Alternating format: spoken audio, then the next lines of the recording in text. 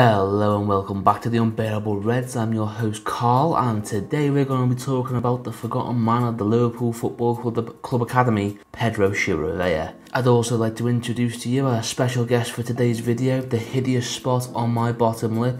Everyone, please like, comment, and subscribe in all seriousness, we, we are a, a, new channel and we would um, greatly appreciate any support we can get. Like, comment and subscribe if you are enjoying what we're doing currently. We also have a Twitter that's going to be linked in the description down below, so please give that a follow. And um, we do like to share Liverpool news on that daily, be it transfers, squads, or any general news surrounding the squad. So, on with the show, um, Pedro Chirivella Burgos, he was signed by Liverpool in 2015 under the reign of then Liverpool manager Brendan Rodgers. Um, and you could tell he was um, a Brendan Rodgers style of player. He, he, would have thrived in that system, the quick pass and play, the slow tempo, the maintaining of possession, and just generally a less heavy metal, as Klopp likes to say, style of football that Jurgen implements currently. We signed them in 2015 uh, alongside uh, Sergi Canos from Barcelona, got them both in at the same time, and both of them did, as previously mentioned, fit that mould of a Brendan Rodgers style player. And now, if you're going to liken uh, Sergi Canos to any Liverpool player in the past, personally, I'd liken him to like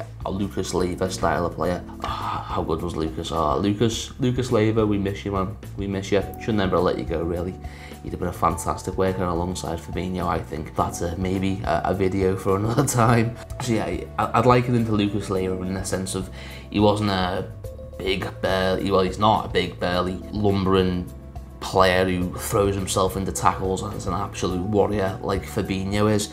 He, he, he's a much more cultured uh, defensive mid where he likes to replay and intercept balls. I'm not saying Fabinho doesn't do that, but this is Pedro Chirivella's bread and butter. He'll intercept the pass and turn and run at the run at the opposition team and lay a pass, or he'll just pass it off straight away.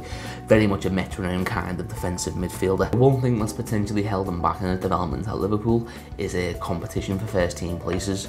Now, um, during the entire time, he's always been behind superior players.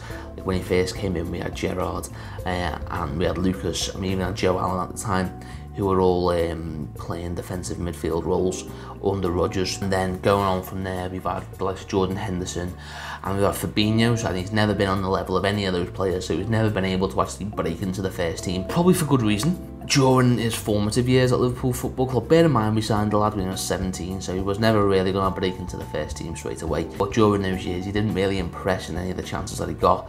He, he looked slow, he looked off the pace, he looked um, didn't look like a Premier League player, and it wasn't helped by the changing system. When we got rid of Rodgers and brought in our glorious German overlord, Jurgen Klopp, who changed the system from a, style of play that would have suited Pedro Chirivella's skill set to um, a faster, hard-hitting football in, in the gegenpress heavy metal style that Jurgen Klopp brought to Liverpool. So that didn't help his development at all, and that resulted in two uh, quite unsuccessful, in my personal opinion, quite unsuccessful loan moves to the Eredivisie.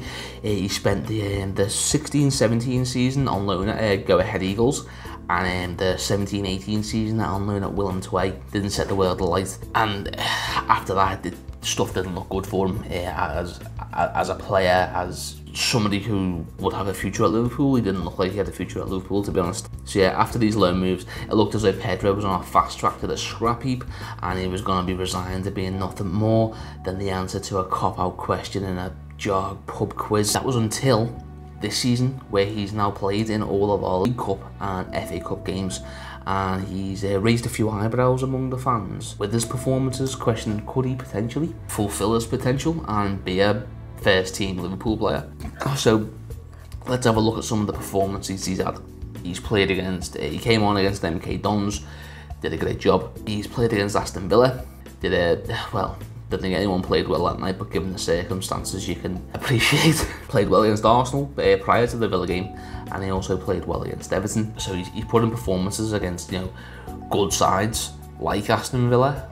Not that Aston Villa is a fantastic side, but in comparison to some of the dross that you do play in the cups, Aston Villa are, are, are one of the better teams. And he's done well against Arsenal. They were one of the top teams in the league. I know they're not playing well, but they are still one of the top teams, whether you like it or not and he's put in fantastic performances against you know, a couple of minnows like MK Dons and Everton. So the question is, Does this lad have a future at Liverpool Football Club? Can Pedro Chirivella step up and be a squad player or even do the unthinkable and unseat one of the first team and claim his place in that Liverpool starting 11?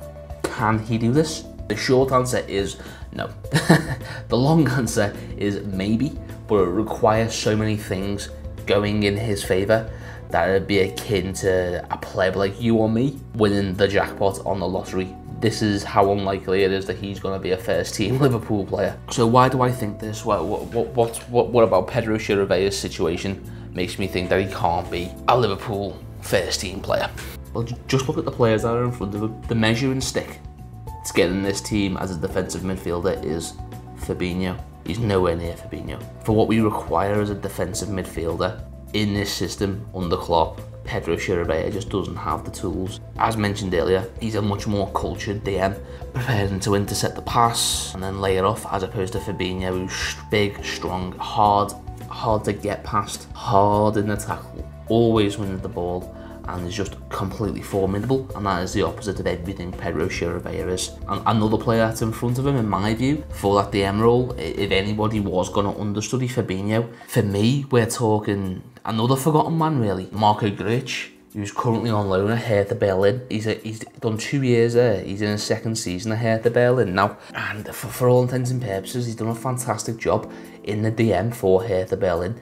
And I think next season, if we are going to be looking to bring uh, somebody up to be an, an understudy, a backup to Fabinho, it ain't going to be Pedro Chirivella, it'll be Marko Grujic, because Jurgen Klopp brought Grujic in. That was Klopp's first signing. And he's been in the academy, he's been out on loan. And I think after the good performances he's had for Hertha Berlin, this could be his time. He could come in, he could understudy Fabinho. For example, if he hadn't been out on loan, I Hertha Berlin where Fabinho was injured. You could very easily imagine him sharing that role with Jordan Henderson at DM. You wouldn't have had Jordan Henderson having to play game after game after game after game. You'd have probably seen more of Marko Grujic in that role, and then you'd have seen Henderson playing in his normal, his now normal role, which is in the eight, as one of the two box-to-box midfielders. And we didn't see that for Pedro Chirivella. Why didn't we see that for Pedro Chirivella? Because he's not the kind of DM that Liverpool need at this moment in time. Another reason, if we're going to be promoting any player from the under 23s, it's not Pedro Chirivella, it's Curtis Jones. The lad looks an absolute baller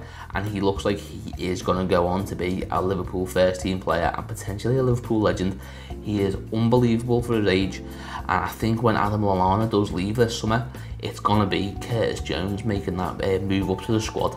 Don't think he's going to be first team straight away. Yeah, I think he'll definitely be a backup coming in. Um, when we need players resting or we need a player to go in there with no fear, because there is no fear in youth. Yeah, I think it would be Curtis Jones that would be fulfilling that role of the academy player taking the step up. I do however think that Pedro Chirivella is good enough to have a decent career elsewhere. Me saying that he's not good enough for Liverpool does not mean that I think he's not a good player. He is a decent player. You've seen how he's gone out there, he's held his own against Premier League teams in Aston Villa, Everton and Arsenal he can do it. He just can't do it for Liverpool Football Club because our standards are so high right now of what we require to achieve what we want he's just nowhere near that level. Now, he was linked with a move in the January transfer window to Charlton Athletic on loan. I don't think that would have been a good move for him, and I think that's probably why it hasn't come off, because I think Charlton Athletic, uh, they're despite their good start at the start of the championship season, they're now struggling really badly uh, and are lingering towards the bottom of the table. And I do think Charlton Athletics beneath them. If he was going to take a step down into another league, well, into the championship, I think he'd fit in really well at Marco Bielsa's Leeds United, playing under under a manager like Bielsa with that metronome style of the defensive midfielder. I think he's fitting really well there. That'd be where I'd send him if I had the choice of where he went. I don't obviously, but if I had the choice, that's where I'd send him. Failing that, I'd send him to maybe even uh, send him back to Spain to one of the more technically um, astute teams. Who that is, I don't know. Um, pick any random team. Getafe, yeah, Getafe? That's a Spanish team, right? Yeah, Getafe. Send them to Getafe. You do well there. So yeah, that's all I have to say on um, Pedro Chirivella and his uh, development and future at Liverpool Football Club. Now, do you agree? Do you disagree? I want to hear your thoughts. Is there anything I've missed or any factors I haven't considered? Let me know in the comments down below.